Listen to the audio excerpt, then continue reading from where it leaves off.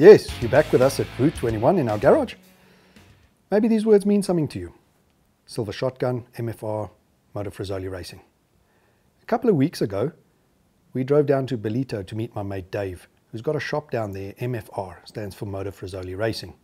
During that interview, he told us that he specializes in restoring old Ducatis as well as building custom bikes where the heart is a Ducati. And during that interview, I remembered I've got an old 1971 Ducati forgotten lying in the back of my garage, not having the time nor expertise to restore it. I thought, why don't we do a series on the rebirth of that silver shotgun? Please follow me into the back. And on the way there, you might just see another project awaiting restoration, which is a British paratrooper bike from the Second World War called a Corgi.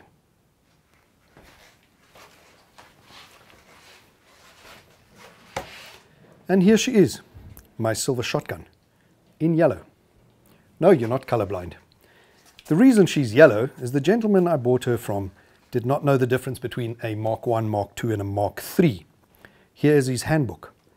However, the main difference between the Mark 3, which he thought this was, it had a square fiberglass rear tailpiece with fender, and this being the earlier model, only produced in 1970 and 71, has the very square tail with the chromed metal rear mudguard. This is what this bike should look like. Being the early 1970-71 model only produced for two years, it was only made with this quite garish silver metal flake finish. And that's why it got the nickname Silver Shotgun.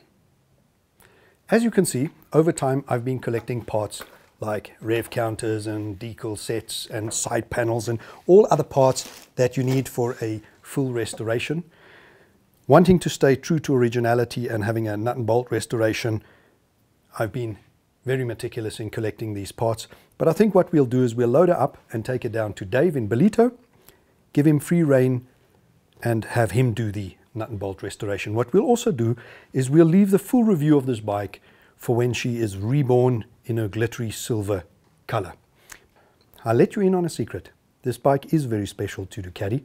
Reason for that, it is the bike in which Taglioni prototyped the desmodromic valve system. The motor is a single piston air-cooled bevel engine.